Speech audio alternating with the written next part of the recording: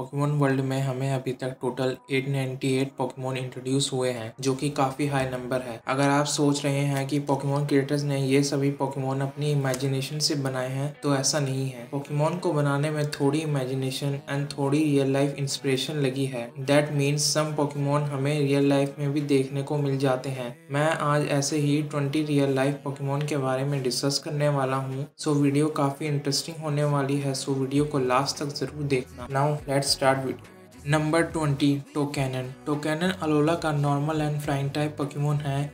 ये बेस्ड है south American bird toucan पे। ये साउथ मैक्सिको के ट्रॉपिकल प्लेन्स में मिलते हैं। इन दोनों के डिज़ाइन की सिमिलैरिटी काफ़ी क्लियर है। इनफैक्ट पोकेमोन क्रिएटर्स ने इसके नेम में कोई स्पेशल चेंज नहीं किया है। नंबर 19 ड्राउजी ड्राउजी कैंटो का प्योर साइकिक टाइप पोकेमोन है। ये बेस है साउथ ईस्ट एशियन टैपिर पे, जो कि मलेशिया में पाए जाते हैं। टैपिर्स की विजन काफ़ी वीक होती है, जिस रीज़न से यह अपनी स्मेल एंड हियरिंग एबिलिटीज़ पे डिपेंड करते हैं। Number 18 Caterpie Caterpie gen one Kanto का प्योर बग टाइप पोकेमोन है, जो कि लेटर ऑन बटरफी में इवॉल्व होता है। कैटरपिलर रियलिटी में भी एक बग कैटरपिलर पे बेस्ड है, जिसका नाम है ईस्टर्न टाइगर स्वेलोटेल ये हमें ईस्टर्न नॉर्थ में पाए जाते हैं। लाइक कैटरपी इसकी बॉडी भी ग्रीन एंड हेड पे ऑरेंज एंटीना है। Number seventeen Magikarp Magikarp Kanto की वाटर टाइप पोकेमोन है, जो कि मोस्टली अपने एवोल्यूशन गैराडोस के लिए जानी जाती है। मैजिकार बेस्ड है येलो आई रॉक फ़िश पे जिसकी eyes and mouth original Magikarp से काफ़ी सिमिलर है। रॉक फ़िश हमें ईस्ट पैसिफिक में मिलती है। ये सबसे लॉन्गेस्ट जीने वाली फ़िश है। अपेरेंटली ये 114 से 120 इयर्स तक जी सकती है। नंबर 16 टोरस टोरस कैंटो का नॉर्मल टाइप पोकेमोन है। एनिमे में ये हमें ऐश के पास दिखाया गया था। इनफैक्ट ऐश ने टोटली थर्टी टोरस कैच किए थे कैंटो के सफारी जोन में। ये यूरोपियन बाइसन पे बेस्ड है। Tauros similarly like bison group में रहना पसंद करते हैं। यूरोपियन बाइसन यूरोप का सबसे हैवीएस्ट एनिमल है। Number fifteen Sandslash Sandslash Kanto का प्योर ग्राउंड टाइप पोकेमोन है सैंडस्लैश बेस्ड है चाइनीज़ पेंगोलियन पे जो कि नॉर्थ इंडियन सब कॉन्टिनेंट में पाए जाते हैं। बट ये अब एक एंडेंजर्ड स्पीशीज की कैटेगरी में आ चुके हैं। इसकी बॉडी पे सैंडस्लैश की तरह स्केल्स हैं। Pangolin similarly like Sandslash ground में होल्स बना के रहते हैं। Number fourteen Ursaring Ursaring Johto region का एक नॉर्मल टाइप पोकेमोन है, ये बेस्ड है ब्राउन बियर पे, जो कि हमें नॉर्थ अमेरिका में मिलते हैं। ब्राउन बियर अर्सरिंग की तरह एग्रेसिव नेचर के होते हैं। ब्राउन बियर को काफ़ी यूरोपियन कंट्रीज़ में as a national and state animal treat किया जाता है। Number thirteen, Rhyhorn. Rhyhorn Kanto का rock and ground type Pokemon है। रायहोन बेस्ड है हमारे इंडियन राइनोसरस पे, जिसे हम राइनो भी कहते हैं। ये एशियन एलिफेंट के बाद सेकंड लार्जेस्ट लैंड एनिमल है।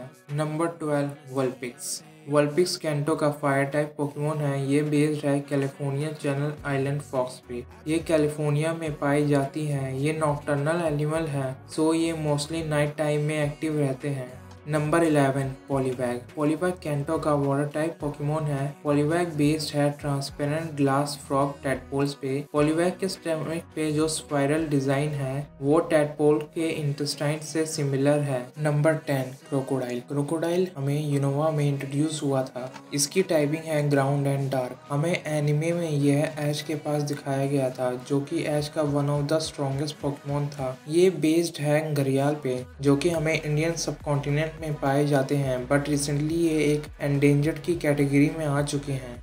Number nine Zigzagoon Zigzagoon Hoenn का नॉर्मल टाइप पोकेमोन है। इसे रिसेंटली गलार में एक न्यू फॉर्म मिली है, जिसमें इसकी टाइपिंग में नॉर्मल के साथ डार्क टाइप भी इंक्लूड हो जाती है। जिगजागून बेस्ड है रकून डॉग पे, जिसे जैपनीज फोकटेल में टानुकी के नाम से भी जाना जाता है। ये ईस्ट एशिया एंड जापान में पाए जाते हैं। नंबर एट ड्रैगल ड्रैगल कालोस का dragon and poison type Pokemon है। ये लीफी सी पे बेस है, जो कि ऑस्ट्रेलिया के वेस्ट कोस्ट में पाए जाते हैं। ड्रैगन की dragon typing probably leafy sea dragon के नेम से ली गई है।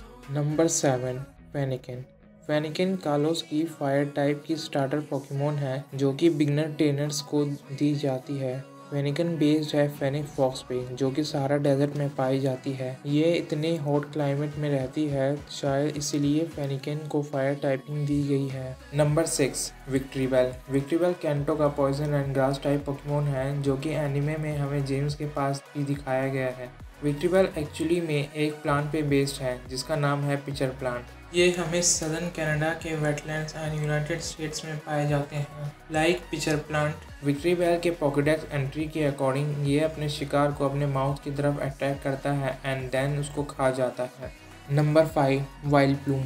Vileplume Kanto का grass and poison type Pokemon है। लाइक विक्ट्रीवेल इसकी ग्रास टाइपिंग इस फैक्ट से ली गई है कि ये एक प्लांट से इंस्पायर है। ये बेस्ड है कॉर्प्स लिली पे, जिसे ये नाम इसलिए मिला है बिकॉज़ इससे सड़े हुए कॉप्स की स्मेल आती है। इनफैक्ट वाइल्ड प्लूम के पॉकेटस एंट्री में भी ये मेंशन है कि ये अपने पेटल से टॉक्सिक गैसेस फैलाती है। ये सुमाट्रा के रेन फॉरेस्ट में ग्रो होते हैं। Number four, Moltres. Moltres Kanto का लेजेंडरी पोकेमोन है। इसकी टाइपिंग है फायर एंड फ्लाइंग मोल्ट्रिस एक रियल लाइफ एनिमल पे नहीं बट एक ग्रीक माथोलॉजी के मिथिकल क्रीचर फिनिक्स पे बेस्ड है। फिनिक्स के बारे में ऐसा कहा जाता है कि ये बाकी फिनिक्स के एशिस से बोर्न होते हैं। Number three, सैडक। मिस्ट्री के सैडक को कौन नहीं जानता? एनीमे में जिसके सैडक से सभी परेशान थे। सैडक कैंटो का प्योर वाटर टाइप पोकेमोन है। सैडक के नेम से ऐसा लगता है कि ये बेस है डक पे बट ऐसा नहीं है। सैडक एक्चुअली बेस है प्लेटिपस पे। सैडक की तरह platypus most of the time water में या वाटर के आसपास रहना पसंद करते हैं। नंबर टू, मटके।